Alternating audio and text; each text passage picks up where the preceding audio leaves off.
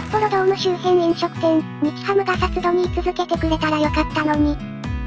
北海道日本ハムファイターズが離れてから、札幌ドーム周辺の賑わいがなくなったこのような話が聞かれる。ファイターズが移転して、お店の状態はどうですか？個人的に札幌ドーム周辺の飲食店の状況が気になっていたものでそれに対し、男性はこう答えた。客の入りは定員の半分程度。新型コロナウイルスの影響もあって一時はゼロに近かったが、それも落ち着いた。現在は持ち直している。日ハムが移転するまでは席がほぼ埋まっていた。混雑は当たり前で、来店する客に対して入店を断ることもあった。日本ハムが札幌ドームに居続けてくれたらよかったのに。でも札幌市は日ハムの引き止めにあまり乗り気ではないように感じていたし、いろいろなところからも同じような話が聞こえてきたのは事実。もうどうしようもない。下水道店やる場所だから。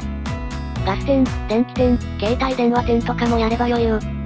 赤字を膨らませるだけだろうな、もう諦めろ。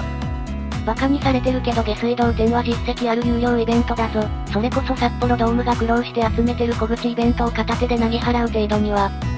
まあ J リーグよりよっぽど金払いは安定してそうだよな。ただこのイベント全国持ち回りだからな。来年はもうない。先週の北海道北広島。札幌67水2647人単価札幌厚別札幌ドームは稼働なし。逃した魚は大きい。札度で開かれたダーツ大会の様子。さ、これでドームの使用料払えんのか？客がすごい少ないし、会場が広すぎるとディズられてるドームでダーツ大会なんて集客力ある東京でもやったことないからおかしいとは思った。年間300万人目標なのに開業から2ヶ月で90万人来たから大成功だなこの前の阪神戦も10万人近く来たから120万人は超えてそう。これから夏休みだしな。